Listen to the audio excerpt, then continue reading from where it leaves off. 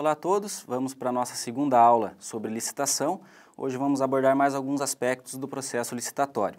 Então, como eu já disse, a licitação é o procedimento obrigatório para que a administração pública efetue as suas compras e ela é dividida em duas fases, a fase interna e a fase externa. Na fase interna, nós vamos fazer a pesquisa do objeto, verificar quais é, produtos estão disponíveis no mercado e atendem aquela nossa necessidade.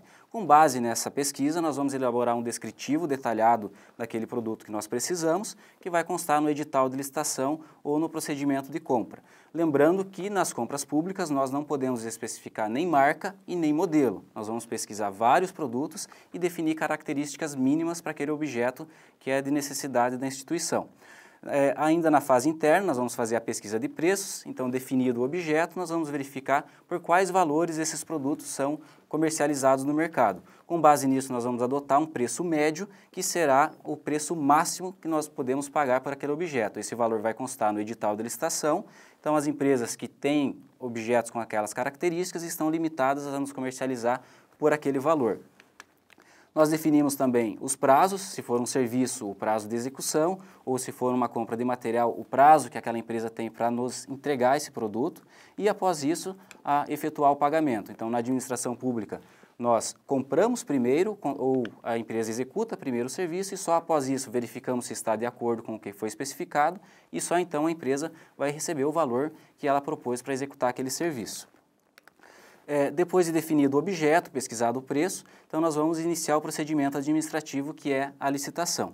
Esse processo administrativo é iniciado normalmente no departamento de compras da instituição e ele vai tramitar por diversos outros setores para verificação de orçamento, financeiro e questões legais desse processo. Então, nós vamos verificar se a instituição tem orçamento aprovado para aquela aquisição, se existe recurso financeiro em caixa para que a gente possa efetuar o pagamento e se o, o procedimento que nós adotamos se a escolha da modalidade está correta. Então, nós vamos ter aí um parecer orçamentário, financeiro, jurídico e de auditoria.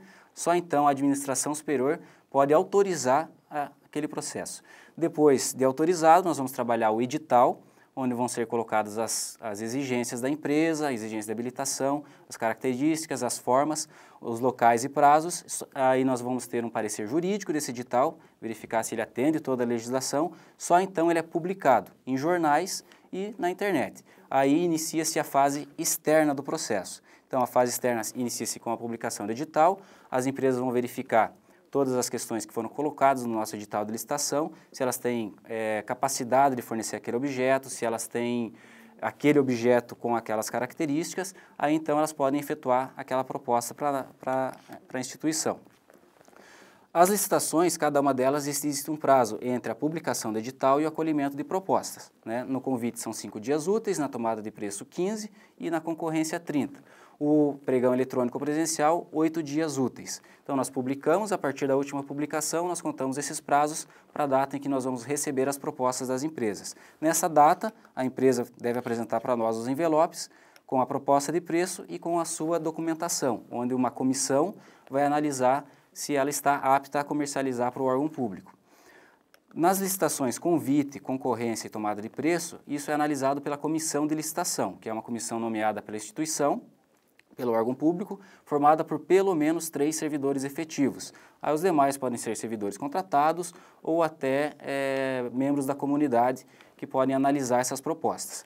Depois de analisado, a comissão vai elaborar uma ata, né, vai registrar todos, todos os acontecimentos ali nessa ata, e esse processo vai ser analisado novamente pela assessoria jurídica da instituição, pela auditoria interna, e após isso ele está apto para ser homologado e adjudicado. A homologação acontece com é, a autoridade máxima do órgão, aqui na universidade é o reitor, ou numa prefeitura vai ser o prefeito ou o governador, então essa pessoa é quem vai homologar, ele vai dizer que todo o procedimento né, foi, é, correu de forma legal e que está apto para ser concluído. Após homologada a licitação, existe a adjudicação, que é o julgamento final do objeto para aquela empresa que foi habilitada e apresentou o menor preço. O edital de licitação é o documento mais importante do procedimento licitatório. Né? Nele vão constar todas as informações necessárias para que as empresas possam efetuar sua proposta. Vai constar o local e data onde a licitação vai ocorrer, vai constar os documentos que a empresa tem que nos apresentar. Nesse caso, a, é, nós temos a habilitação fiscal, então as empresas têm que estar em dia com todos os seus impostos, municipal, estadual, federal, FGTS, INSS, trabalhista. Então, ela é, tem que estar totalmente apta com a regularização fiscal. Aí nós temos a habilitação jurídica, que trata do contrato social, do cartão de CNPJ, onde é a, a comprovação de que aquela empresa pode comercializar aquele objeto.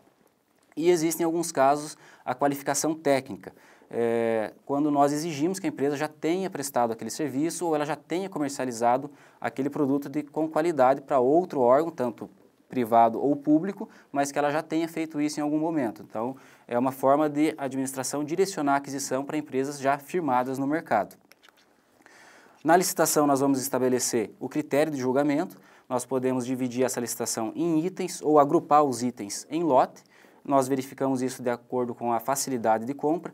No pregão, como ele é um pouco mais demorado o julgamento, normalmente nós agrupamos em lotes, já nas demais licitações, no convite, na concorrência e na tomada de preço, como tem uma facilidade maior, nós podemos fazer sempre por itens. Então, também é uma forma de selecionar a modalidade que nós vamos utilizar.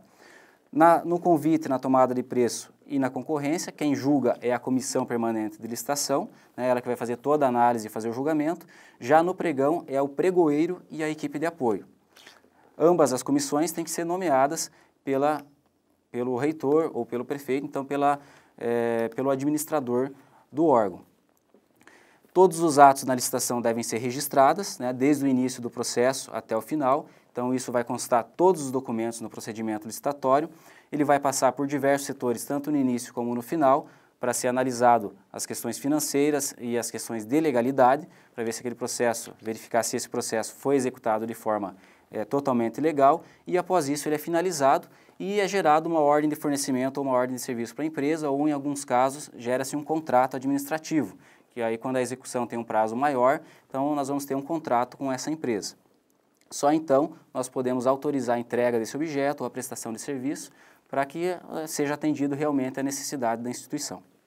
Bom estudo a todos.